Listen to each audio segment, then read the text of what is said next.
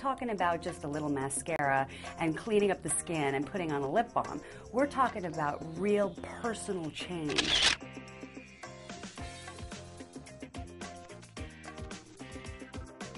One thing that I like to do is the minute a woman sits down in my chair, I compliment her.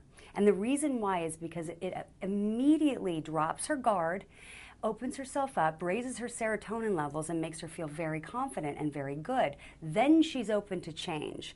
What happens in our society is people are always saying what's wrong with you and how to fix that. Well, that puts your guard up because you just don't want to hear something negative, and you're going to be more uh, against change. You want to struggle against change. But if you open the door with, you're beautiful, let's play up your beauty, pretty soon you're like, oh, okay, I'll go along this path with you.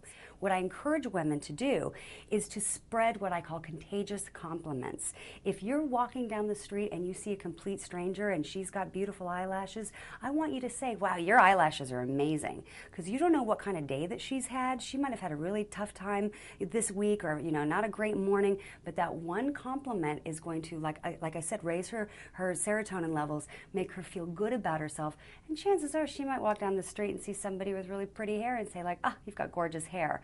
We need to spread the compliments, spread the positive feelings, and stop focusing on the negative. Having a positive attitude is beauty. And the reason why I say this is because you could be the most physically beautiful person in the world, but if you have an ugly soul or if you're unhappy on the inside, it's not going to matter.